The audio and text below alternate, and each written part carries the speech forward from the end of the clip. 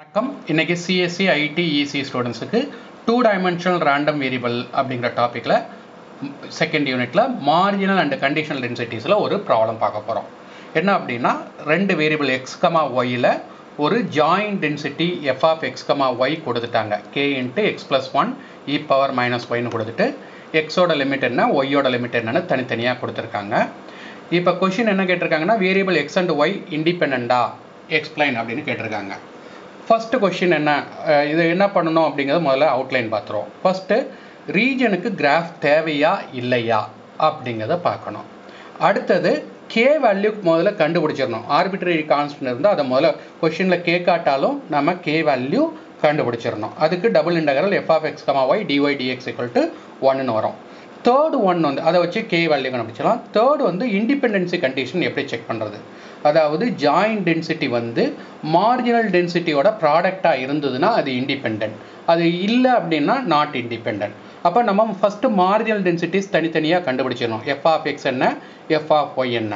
Marginal density of X வேணும்னா joint டென்சிட்டியை ஒய்யை பொறுத்து இன்டகிரேட் பண்ணோம் எங்கே ஒய்யோட லிமிட் வெர்டிக்கல் ஸ்ட்ரிப்பில் இருந்து ரீஜன் வரைஞ்சா வெர்டிக்கல் ஸ்ட்ரிப் ரீஜன் வரலைன்னா ஒய்யோட லிமிட் டைரெக்டாக எடுத்து எழுதிடலாம் அதே மாதிரி மார்ஜினல் டென்சிட்டி ஆஃப் ஒய்னா ஜாயிண்ட் டென்சிட்டியை எக்ஸை பொறுத்து இன்டகிரேட் பண்ணணும் இங்கே எக்ஸோட லிமிட் ரீஜன் வரைகிறதா இருந்தால் ஹரிசாண்டல் ஸ்ட்ரிப்பில் இருந்தோம் ரீஜன் வரையலை அப்படின்னா டைரெக்டாகவும் எடுத்து எழுதிடலாம்.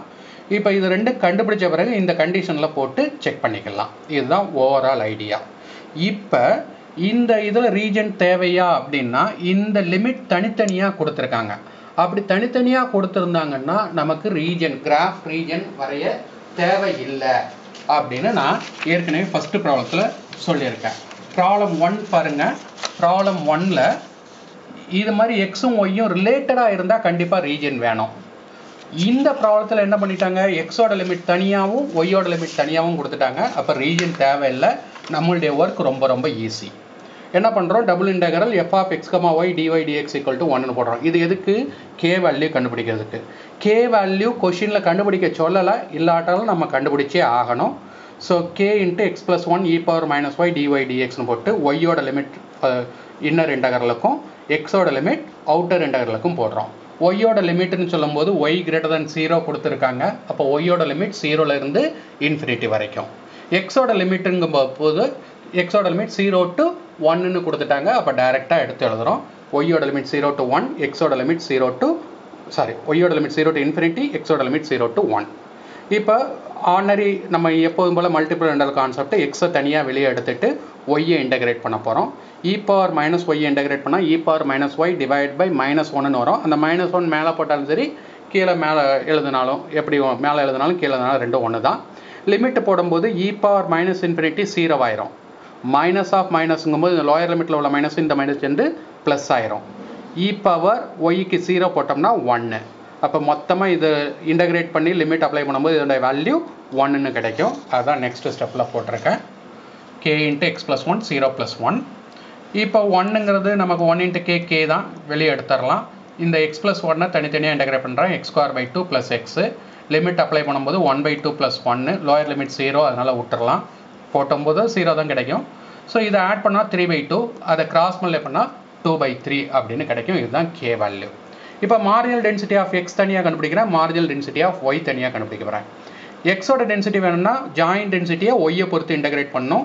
ஒய்யோட லிமிட் டைரெக்டாக கொஷினில் இருக்குது அங்கேருந்து எடுத்து எழுதிக்கலாம்.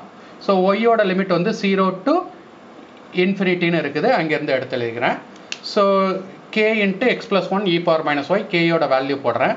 இப்போ ஒய்யை பொறுத்து இன்டகிரேட் பண்ணால் two by three x plus ஒன்னை வெளியே எடுத்துட்டு e power minus y integrate பண்ணால் e power minus y divide by minus one அந்த மைனஸ் ஒன்னை மேலே கொண்டு வந்துடுறேன். லிமிட் அப்ளை பண்ணும்போது e power minus infinity zero minus e power zero வந்து ஒன்று அந்த லோயர் லிமிட்டில் இருக்க மைனஸும் இந்த மைனஸ் வந்து ப்ளஸ் ஆயிரும். So two by three into x plus one வரும்.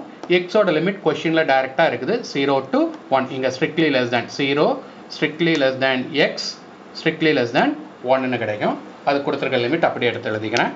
மார்ஜினல் டென்சிட்டி ஆஃப் ஒய் வேணும்னா எக்ஸை பொறுத்து இன்டகிரேட் பண்ணோம் ஜாயிண்ட் டென்சிட்டி எக்ஸை பொறுத்து இன்டகிரேட் பண்ணோம் எக்ஸோட லிமிட் ஜீரோ டு ஒன் கொஷின்லேருந்து டேரெக்டாக எடுத்து எழுதிக்கிறேன்.